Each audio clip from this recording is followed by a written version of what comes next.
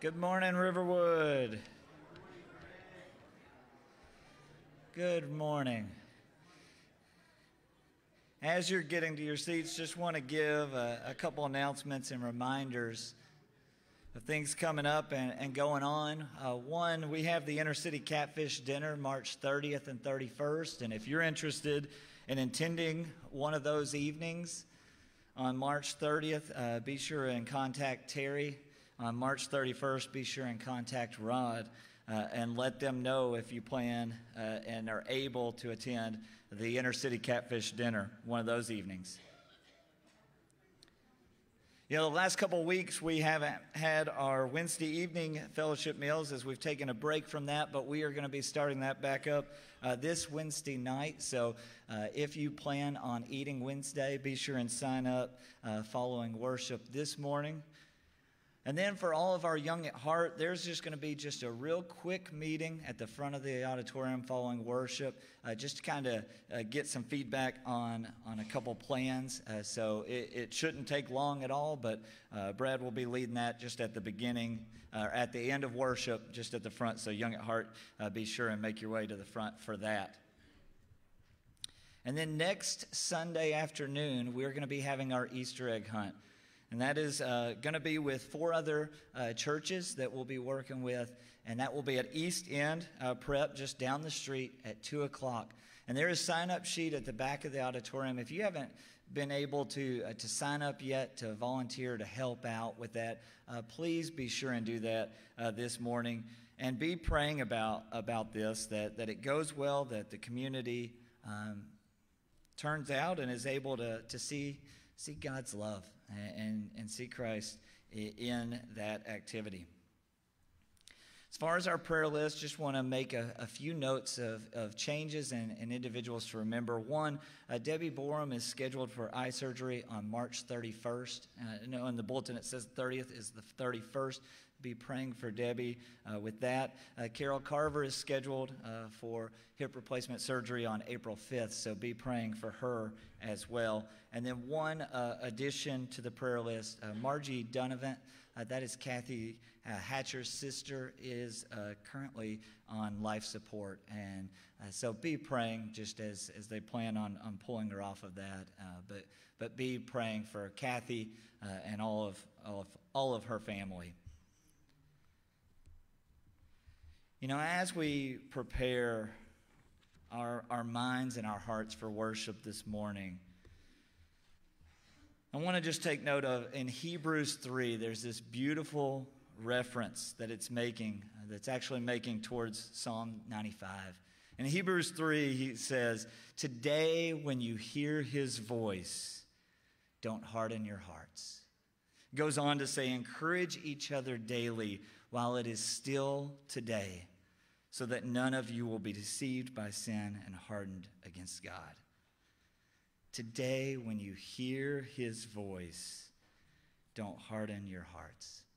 I mean, how amazing is it that we have the blessing of being here this morning to worship such an amazing God? That he is present this morning and he longs for us to hear his voice and to listen to him. In Psalm 95, right before he says that about listening to his voice, he says, Come, let us worship and bow down. Let us kneel before the Lord, our God, our Maker. For he is our God. We are the people he watches over, the flock under his care. If only you would listen to his voice today. If you'll stand with me, we're going to enter into a time of worship. But before we do that, as you stand, if you just will extend your hands like this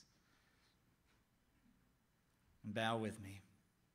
Father, as we have our hands extended, a posture of receiving, Father, we pray that you will make our hearts like our hands, open to you, opening up our hearts to what you have for us, of listening to your voice.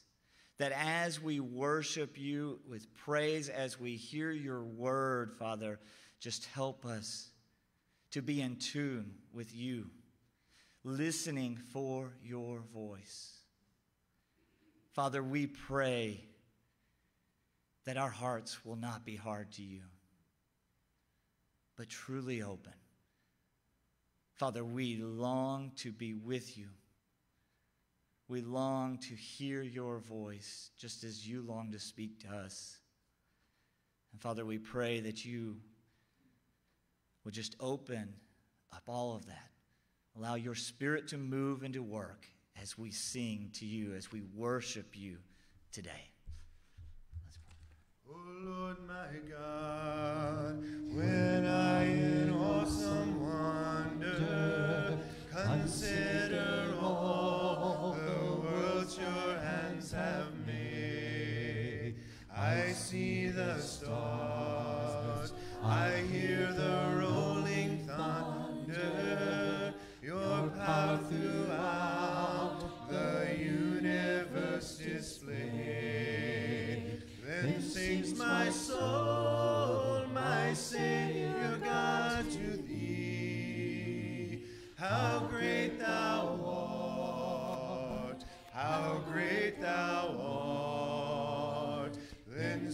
my soul, my Savior God, to thee.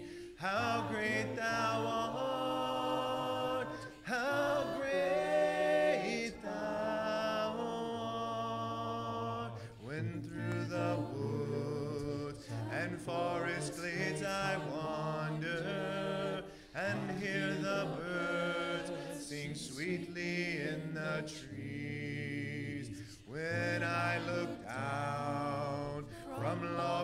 mountain grandeur and hear the brook and feel the gentle breeze. Then sings my soul, my Savior God, to thee. How great thou art, how great thou art. Then sings my soul,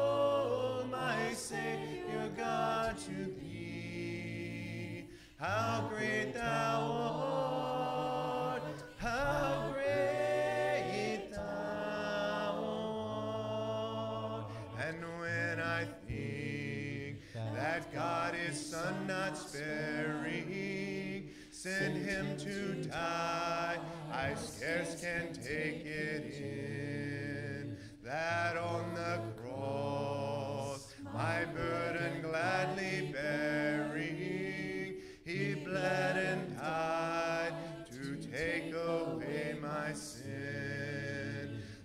Sings my soul, my Savior God, to thee. How great thou art, how great thou art.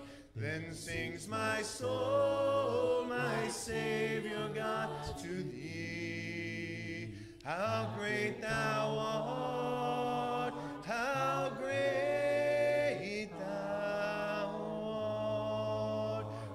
Christ shall come with shout of acclamation and take me home, what joy shall fill my heart? Then I shall bow in humble adoration and there proclaim, My God, how great thou art.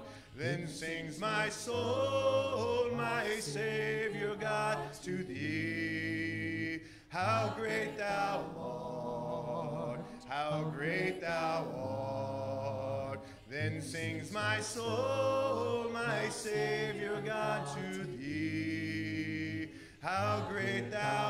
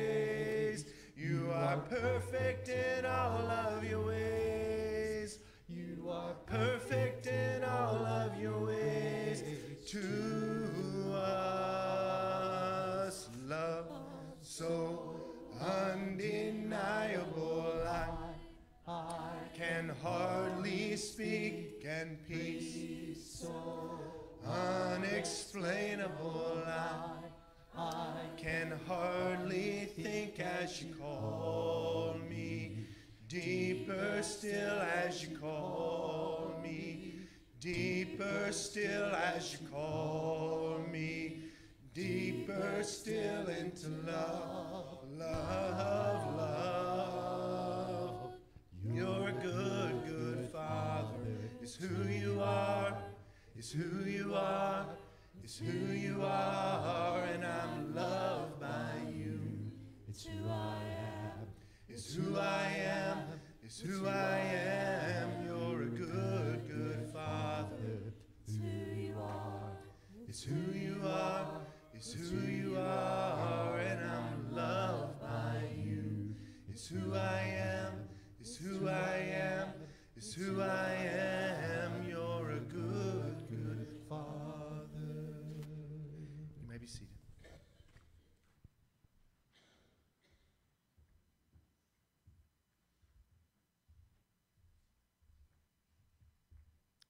Let's pray.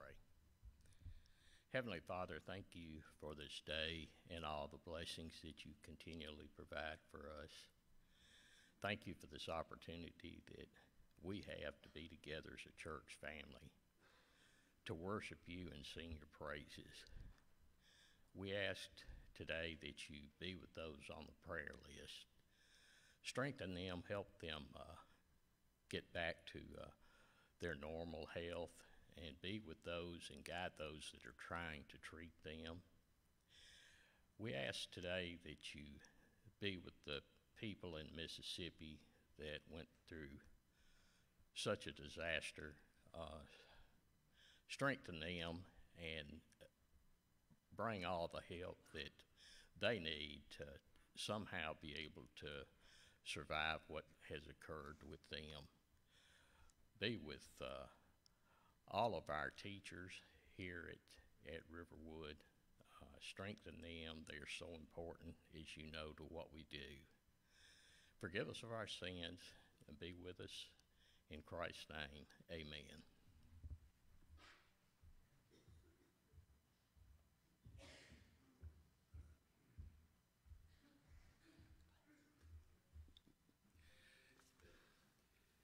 This morning's reading is taken from Galatians 1 11 through 20. My friends, I want you to know that no one made up the message I preach. It wasn't given or taught to me by some mere human. My message came directly from Jesus Christ when he appeared to me.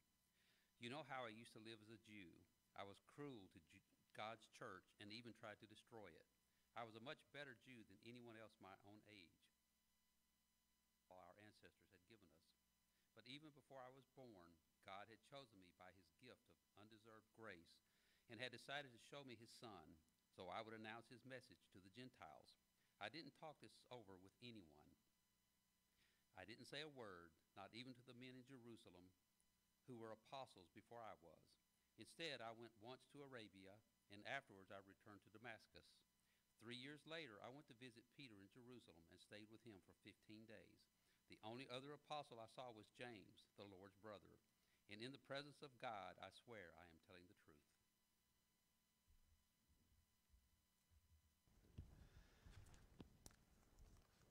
Last week we talked about Anna, and uh, when we talked about Anna, I said we would be looking at that from three different levels, that we would start off talking about her and the event itself, and then the recording of that event, and then our reading of that particular event. And I said that that's really a, a way that you can look at almost any scripture passage. And uh, it's, a, it's a useful model that you can use. I mean, you could think as an example about Abraham. Uh, Abraham receives a promise from God. There's an event that occurs in a time and place, and then Moses records it. And when Moses records it, he has a particular spin or orientation that he wants to provide for that message because he's going to talk about that as the creation, if you will, the promise that's going to create the Jewish nation. As we read uh, in that particular story, we encounter it as non Jews.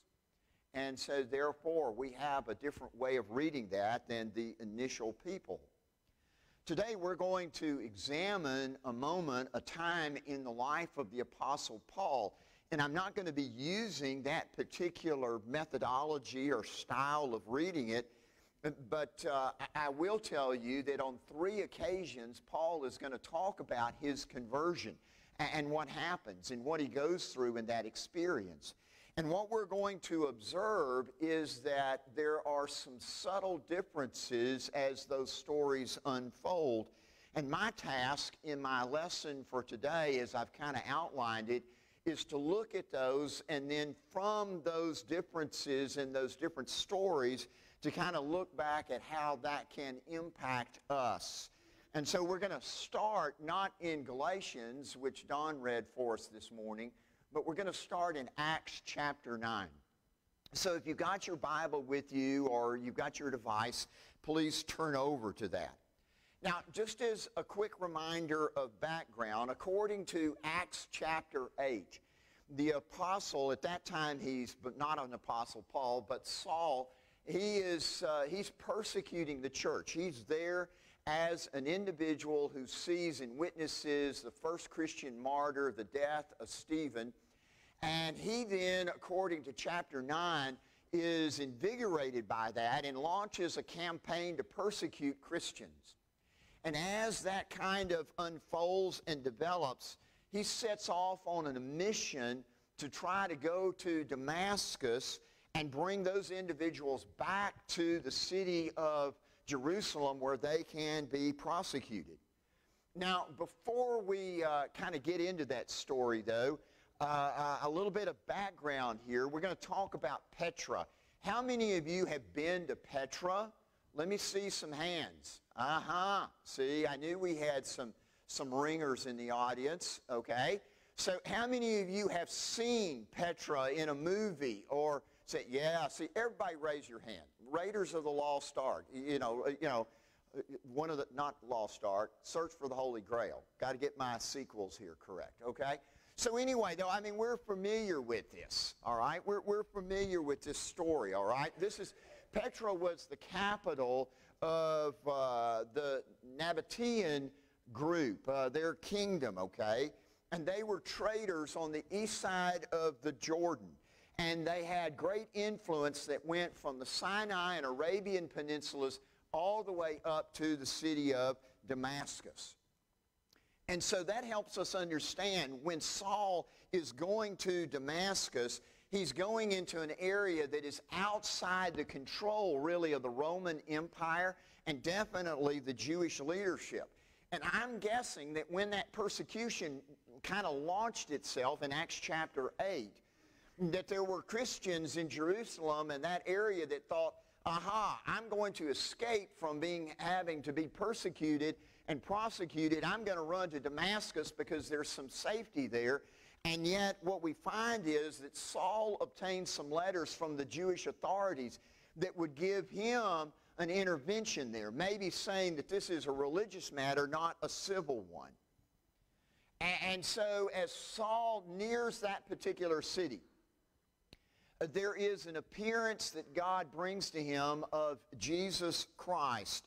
And, and he's told that he's going to go into the city of Damascus and wait there for instructions. He receives instructions from Ananias, and, and he tells him what he needs to do, and he is converted, and he follows that particular instruction.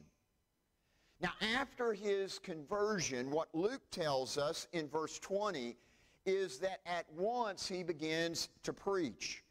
And he has a measure of success, so much so that after many days there are individuals who are upset about that, and there is this plot to kill and put him to death, but they find out about that plot, and so he escapes over the wall in a basket and is then able in the next stop to go to the city of Jerusalem. That's verse 25, or excuse me, 26. That's the first telling of the conversion in Acts of the apostle. In chapter 26, or excuse me, chapter 22, Paul is arrested.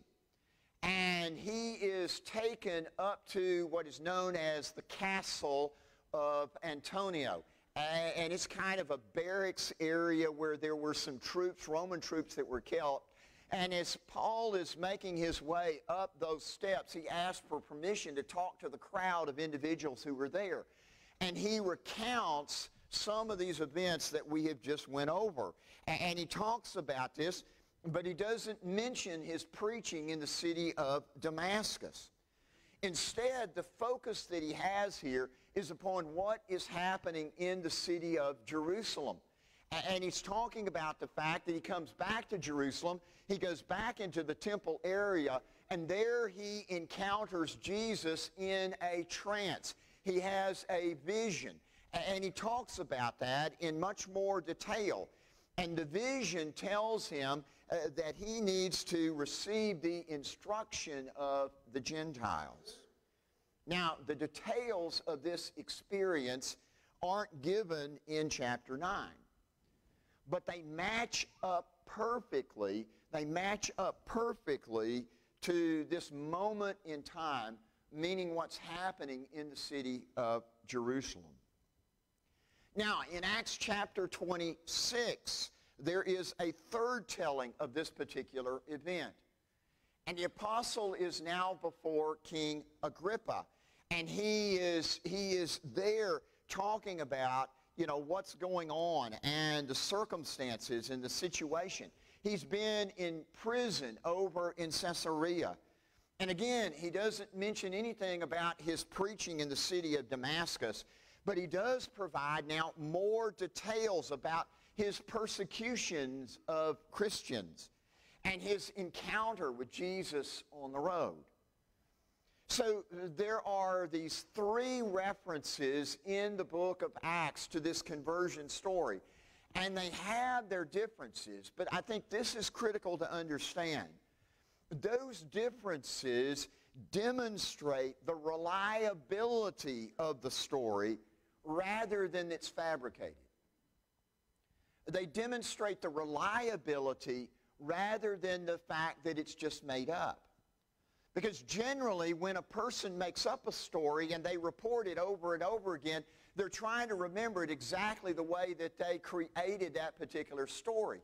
When you have a story that is subtly changed in difference depending upon the audience and the purpose, that is showing to us that it's factual information.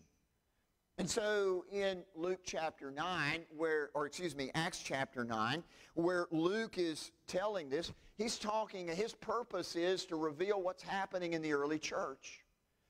When Paul in Acts chapter 22 is saying this, he's not telling a story, he's giving his testimony. And his, his testimony emphasizes the Jewishness, the Jewishness that he has and his faithfulness to the law. And he yearns for his Jewish accusers to become Christians and followers of Jesus just as he has. And, and, he identifies himself with them. He talks about how he's, he's discussing the God of our fathers. And then in chapter 26, that's a very small, really non-hostile audience as Paul reports and discusses that. It's different. So it is the same story that Paul is reporting here. It's given in different settings with slight differences. Now, as we have looked at those three stories, we need to add in the one that Don read for us today from Galatians, the one that's on the front of your bulletin. Because here, Paul is writing to the churches of Galatia. And as he does so, he has a very clear, very stated purpose in mind. And that is that the content of the gospel that he is proclaiming and preaching is exactly the same as that of Peter and James and the other apostles, okay? And the reason it is the same is that it has the same source, and that is Jesus Christ. And if anyone deviates from that core concept, that gospel that's given, whether it's from the apostles or it's from Paul, uh, that is apostasy.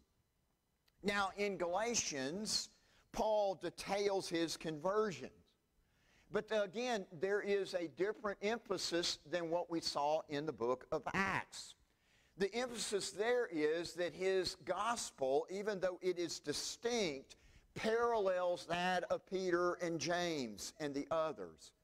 And Paul says in verse 16 that God revealed Jesus to him.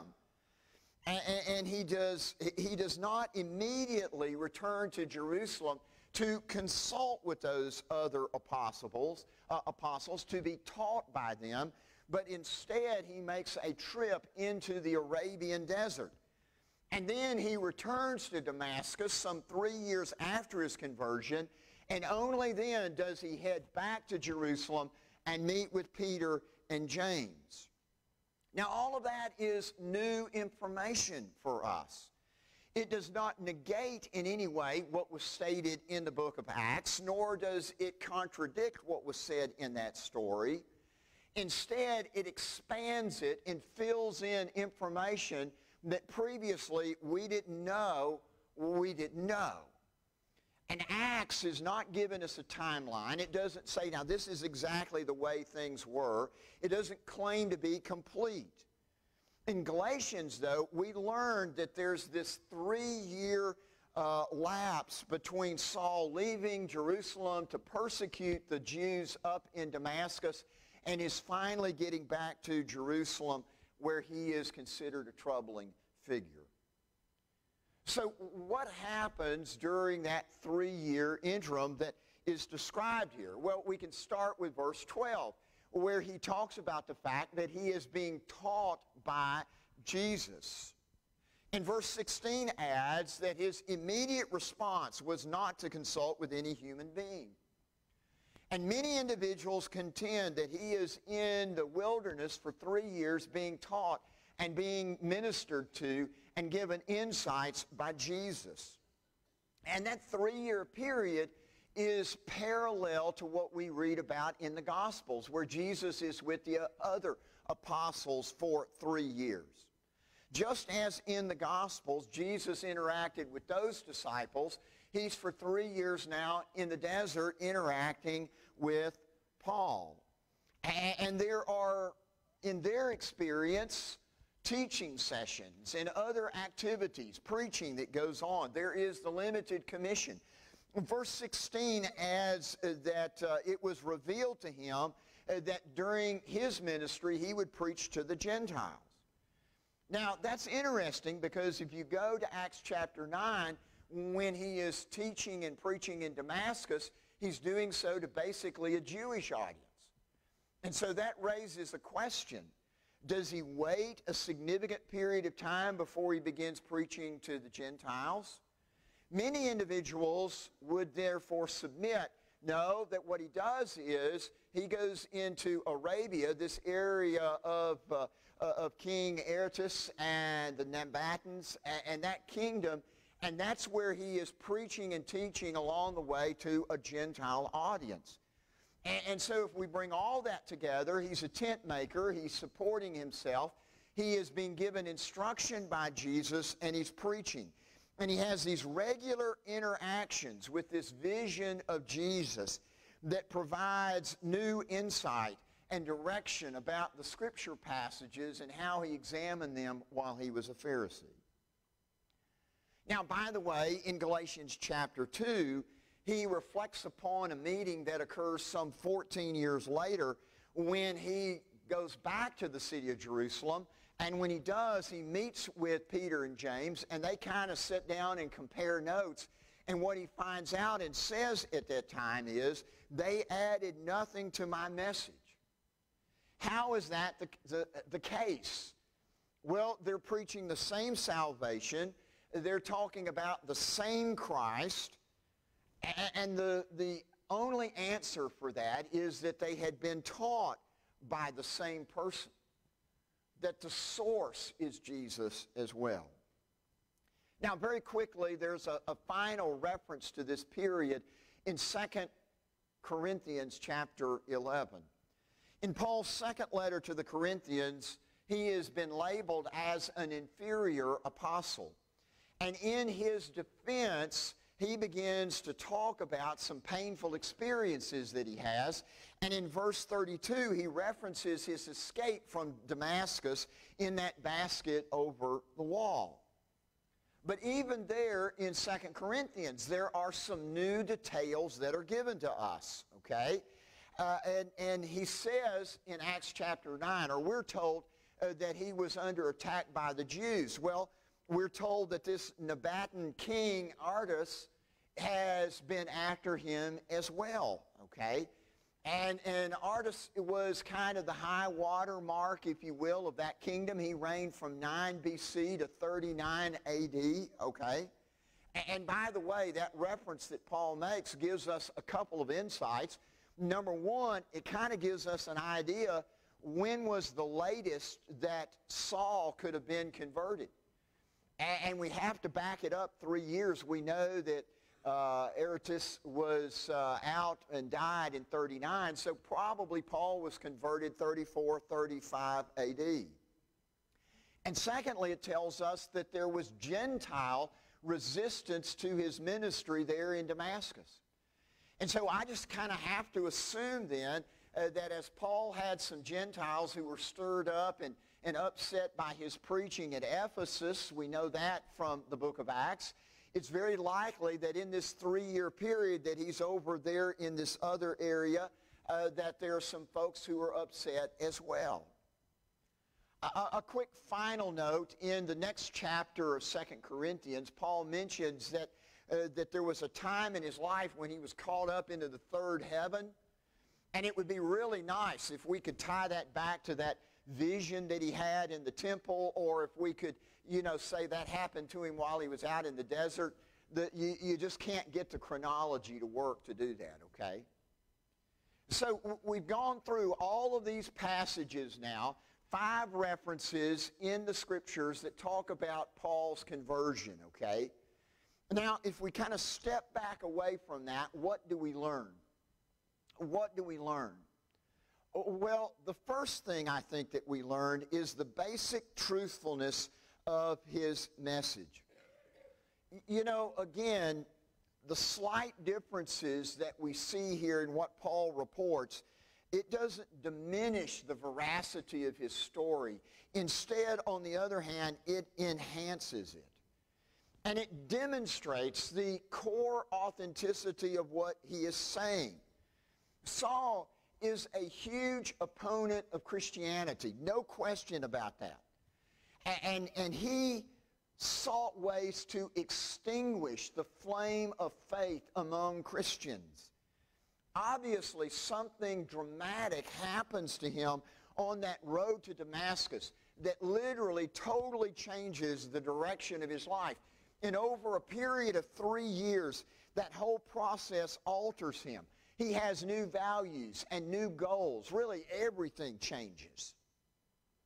And that is a strong proof for what the New Testament says, for the story of Jesus and for its historicity. Okay, I, mean, yeah, the other apostles are changed. How do you explain the fact that these guys in the Gospels are, are just kind of fumbling, bumbling along They get things wrong, right, occasionally. They're, they're all run off by the time of the crucifixion of Jesus, you know, all but really, I guess John is, is a witness there. And how do you explain their sudden change without some miraculous event? Well, the same thing can be said about the Apostle Paul. I mean, this guy Saul is trying to kill Christians, okay? That's his purpose and aim. And, and, so now we have him in a completely different direction. In Galatians, Paul's point is that he didn't meet with the apostles right away, okay? Luke's point is to talk about the history and development of the early church. Those are minor differences in directions, but it, the story is the same. And that's our first takeaway here, and that is that the Bible is shown to be a reliable record. Secondly, I, I would observe that Christ's likeness is a process. It's not a moment. There is growth in the life of Paul, and it's driven by this lifelong desire to become the person that God intends him to be. And, we see that in his life. I mean, he heads from Jerusalem to Damascus, and he is absolutely convinced that he is doing the work of God. But he encounters Jesus, and it requires him to rethink and reprocess all the way that he has read the scriptures before. And that takes time. Initially, at least three years. Uh, but really, it's time that we see all the way through his life. There's a overlooked passage toward the close of his ministry in 2 Timothy chapter 4, which is now 20 years later in this chronology. Paul is in jail for the second time. He's most likely not going to be released. He's in his mid to late 60s, maybe even early 70s, and he requests that his young protege join him. And he asks in verse 13, when you come, bring the cloak that I left with Carpus at Troas and my scrolls, especially my parchments. Paul, maybe toward the end of his life, but he's still a student. He's still studying. He's still reading. He's still thinking. He's not finished. We see that in the life of Peter. I, I mean, Peter is an incredible person, you know, but early on he's bold and he's brash. Yeah, he does things, but sometimes he gets caught in between them. He's, he's sometimes wrong and short-sighted. He'll be an amazing speaker in Acts chapter 2 and a huge figure in the early era of the church in the book of Acts. But, but even then, although he's further along, he has his struggles. So in Acts chapter 10, when he's told to kill and eat the things that he sees, he pushes back and is hesitant. And 14 years later in Galatians chapter 2, he'll be confronted by Paul over his behavior with the Gentiles. What am I saying? I'm saying that there's a lifetime of growth and development in the life of Peter. Now, by application, I would submit to you that that mentality needs to manifest itself in each and every single one of us.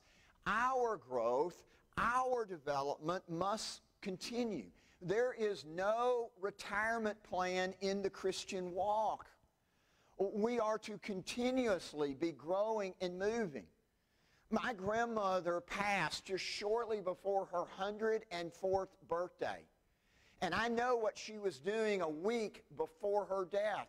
She was reading the Bible, studying God's Word, and praying and communicating with Him. She was constantly in an ongoing relationship with him.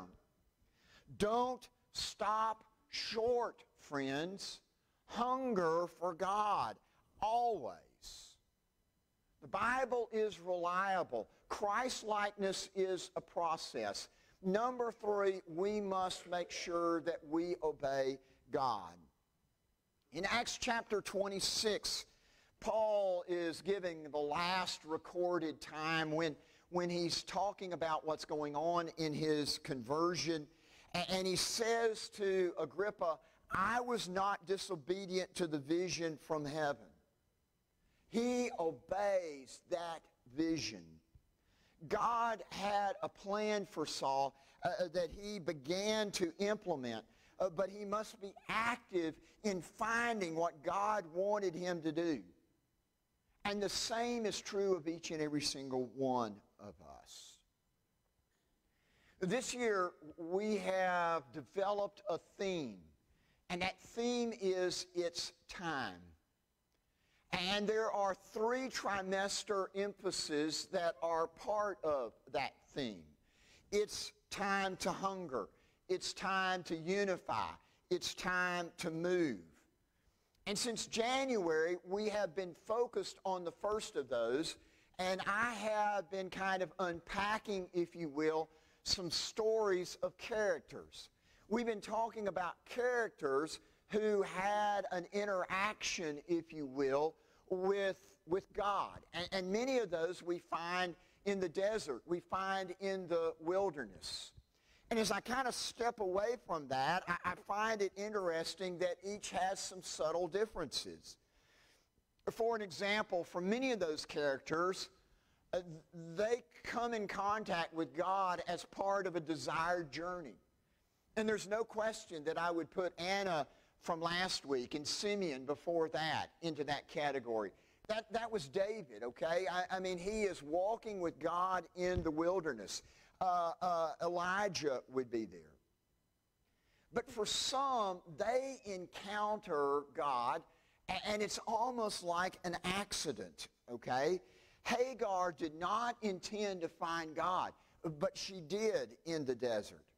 And I don't think Daniel anticipated the fact that he would be in Babylonian and then later under the Persian captivity all of his life. But he was there, and, and he utilized that to draw closer to God. And, and then at the same time, we find individuals who, quite frankly, are like, uh, like Moses, okay? Who kind of settle in, if you will, to their life, okay?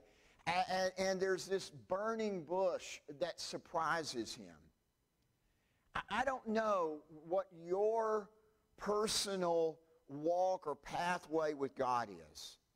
I don't know how your journey has unfolded. But I do know that we must, we absolutely must embrace the plan that God has for us. Yes, there is a personal part of that, okay, where we come to faith and we're convicted of our failings and, and we are baptized and we receive the Holy Spirit and forgiveness. But there's more that God wants to do in us and through us. God wants us to impact the world around us.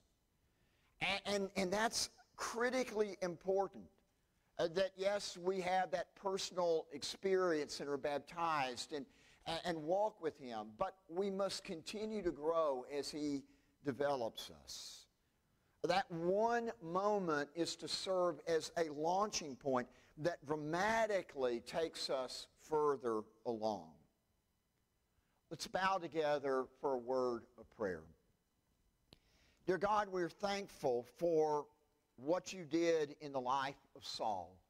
And we're thankful, God, that you moved in his life and you directed him and you guided him and that you brought him to be the person and model that he became. And we pray, Father, that as we follow in his footsteps, uh, that we too would have that experience of conversion, uh, that we too would come to know you. And then that that would manifest itself in our life, in a life of service, in a life that continues as we grow closer and closer to you. Help us, God, to hunger after you with a renewed passion. We ask all of this in the name of your Son, Jesus. Amen. Marvelous grace of our Lord, grace that exceeds our sin and our guilt, yonder on Calvary's mount art Lord, there the blood of the Lamb was spilled. Grace, grace, marvelous grace, grace that will pardon and cleanse within. Marvelous grace,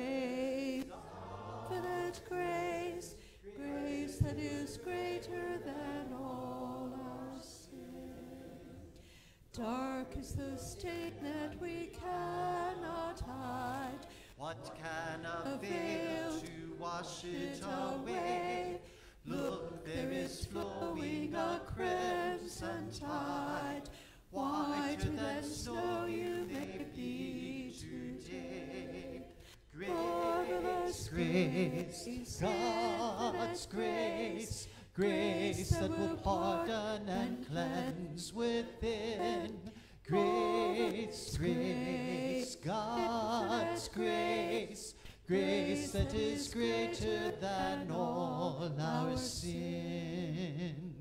Marvelous, infinite, matchless grace, freely bestowed on all who believe. You that are longing to see his face, will you this moment his grace receive? Grace, grace, God's grace, grace that is greater than cleanse within. Grace, grace, God's grace, grace that is greater than all our sin. Pierce my ear, O Lord my God. Take me to your door today. I will serve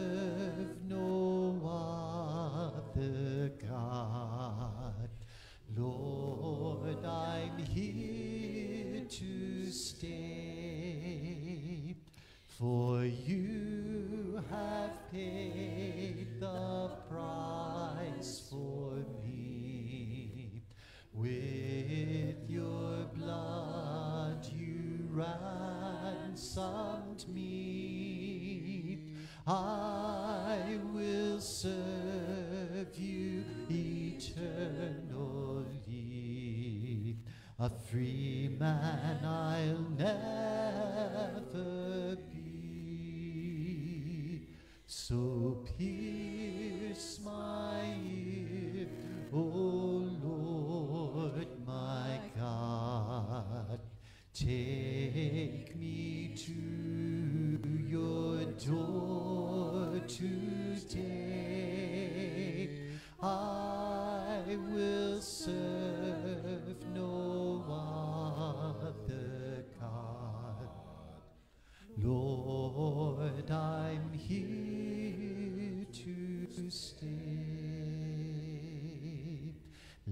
the weak say I am strong.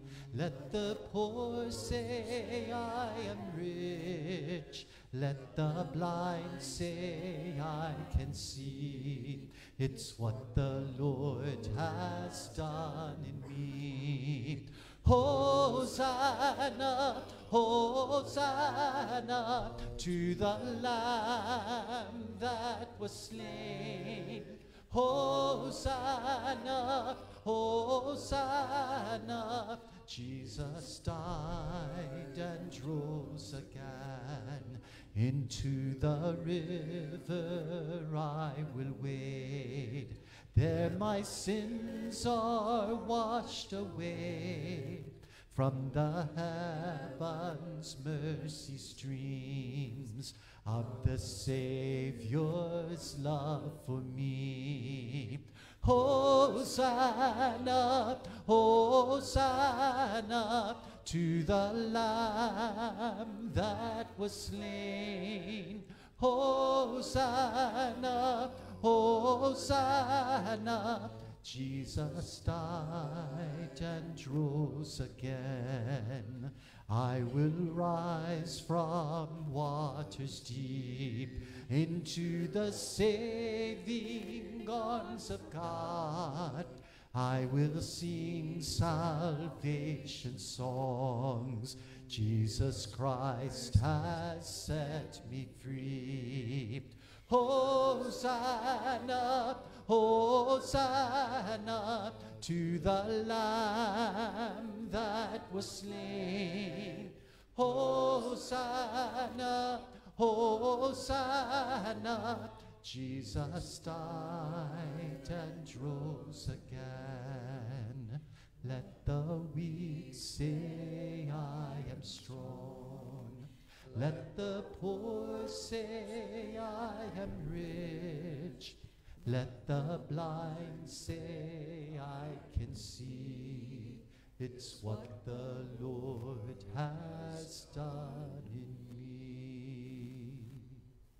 Christ, we do all adore thee, and we do praise thee forever. Christ, we do all adore thee, and we do praise thee forever. For on the holy cross hast thou the world from sin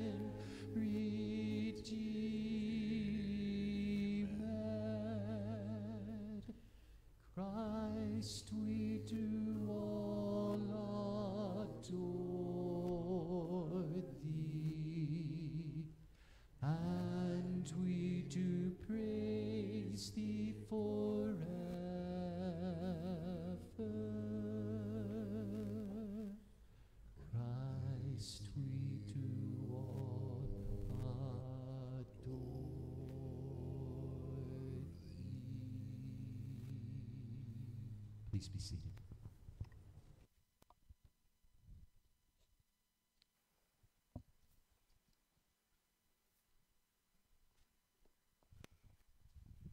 This morning, as we uh, as we prepare for communion, I want to uh, just share you a, a uh,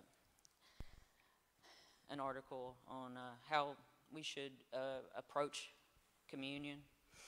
It says that communion is much more than just a small piece of bread and a little cup of juice at the end of service. It's a powerful sign and seal of God's love shown in the person and work of Jesus. May we be, be, be prepared to celebrate this truth this week by searching our hearts, asking for forgiveness, forgiving others, seeking unity with fellow Christians, and asking Jesus to nourish us in this holy moment. Let's go to let's go to Christ in prayer. Heavenly Father, we are thankful today for the opportunity to be together. And as we prepare for communion, please help us to give you all of our attention. We pray that you are pleased with, with our actions this morning, and we're thankful that, that you are with us. It's hard for us to understand how you could offer your life for sinners. Help us to show our appreciation every day. Father, we ask you to bless the bread that to us represents his broken body. We ask you to bless the juice that we're about to partake of, which to us represents his precious blood that he gave for us. We ask this in the name of your Son and our Savior, Jesus. Amen.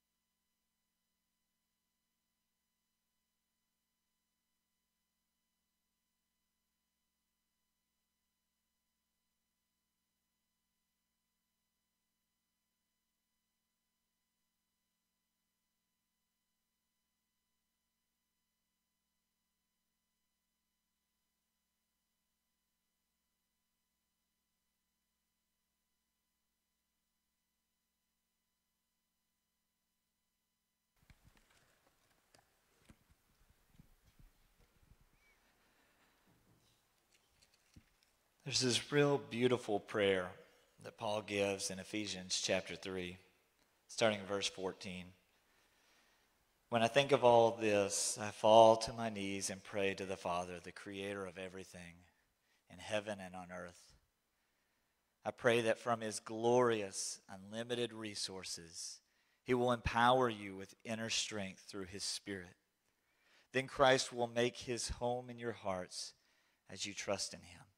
Your roots will grow down into God's love and keep you strong. And may you have the power to understand, as all God's people should, how wide, how long, how high, and how deep is his love, his love is. May you experience the love of Christ, though it is too great to understand fully.